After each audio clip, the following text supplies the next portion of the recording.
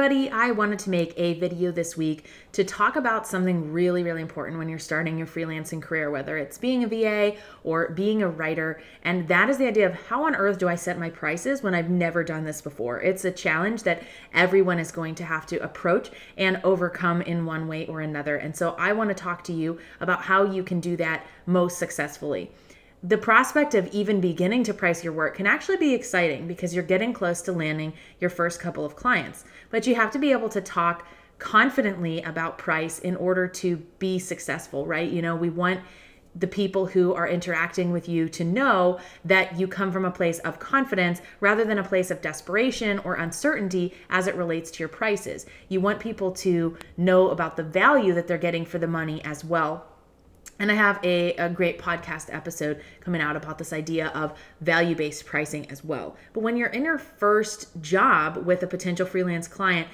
they're going to ask about price in one way or another. It doesn't matter if you're on an Upwork, you know, a job board like Upwork, where the client is going to ask for that information up front to even evaluate and figure out if they want to talk to you, or if you're actually jumping on a phone call with a potential client and um, they they will ask for a budget or a, a bid or something like that when you're actually on the call as well.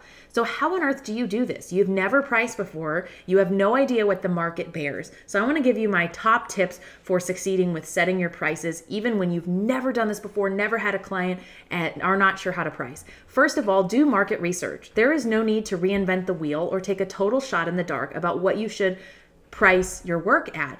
One great way to do this that is very low cost and very easy is to actually set a job on a board like Upwork or to post a request in a Facebook group, acting as though you're the client. So speak from the place of being your ideal client. Do some market research. What are other people charging? Now, this is not a tried and true method that you should apply to your business all the time. Just because other people are charging $20 an hour or $50 an hour and above doesn't mean that's what you're limited to, but it will give you a general idea of what demand in the marketplace is showing. It's a great starting place. You may actually be underpricing yourself. And I see a lot of freelancers doing this idea of underpricing because they think, well, I'm brand new. I need to land clients, so I can't really charge too much yet. But doing some market research like that can actually help you understand what other people are charging and not just what they're charging, but what they're getting to, right? Like other people who are charging $50 an hour are probably capable of doing that because they're actually getting $50 an hour from the clients that they are quoting. So that's a really powerful strategy to use. So do the market research, do not reinvent the wheel and, and start from square one. Go see what other people are charging. The second thing you can do is to think about what would be a good hourly rate for you. Now, not every time that you're working in your business will be a billable hour. A billable hour refers to a situation where you are being paid for what you are doing. When you first start your freelance business, you'll have a lot more marketing hours that are unpaid as opposed to billable hours this can range a whole lot. But when I got started, it was about 80% marketing and 20% actual client delivery. And as your business grows, that will change. So you will ultimately be doing more delivery of work for clients, although your marketing should never stop because that's what helps you avoid the feast or famine cycle.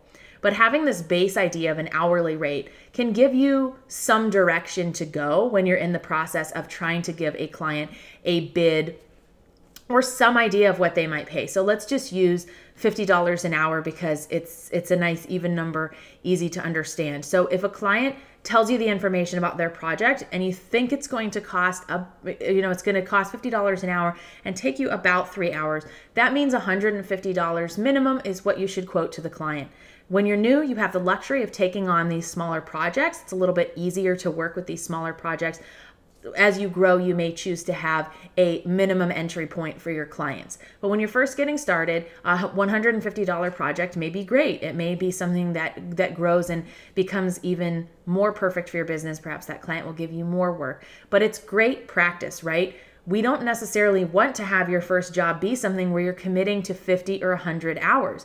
What if you hate it? So these smaller hours, or what I call um, the fast and simple jobs, can help you get some practice and realize what you do and don't want to do.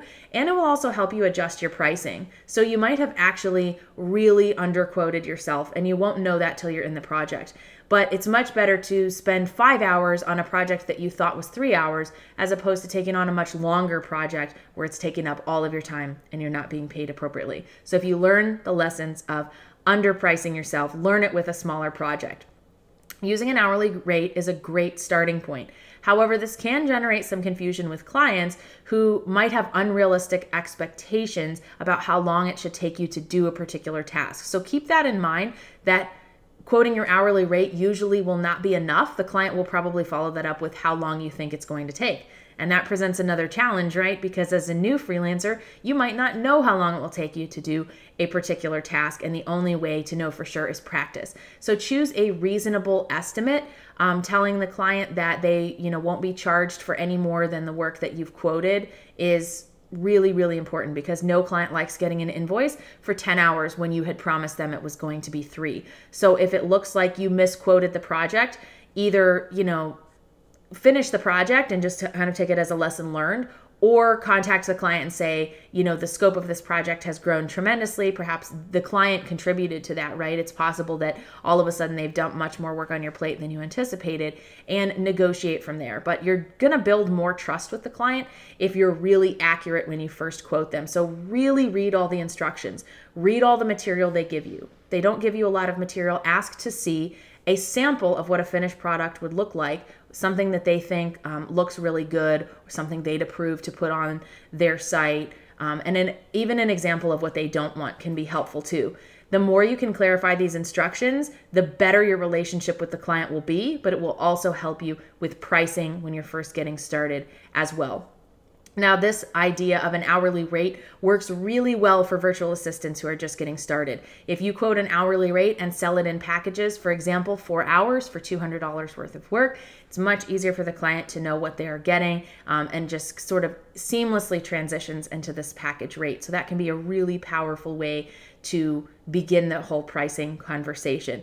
Now, there's always going to be challenges around pricing, whether it's raising your prices, whether it's phasing somebody out, determining to that you're going to accept only minimum amounts or breaking into a whole new industry and having to price all over again. But these are my top two tips for what to do when you've never, you know, you've never priced before. You know, do the market research, find out what other people are charging. If nothing else, it will give you a base point and then you can kind of adjust around there. And then secondly, select an hourly rate that feels fair to you and do all of the legwork at the beginning of the project to determine how the instructions will assist you with figuring out how long it might actually take you. And then try to hold true to that with your clients. The better you will get at estimating your time and charging them a fair price, the more likely they are to give you testimonials, referrals, continue to work with you, etc. But it's always going to be a little bit of a trial and error thing when you first get started, and that's okay because you might learn that you've underquoted, um, you might learn that it's really hard to land clients at the rate that you've chosen. You might even decide that you don't like the type of projects you're working on. And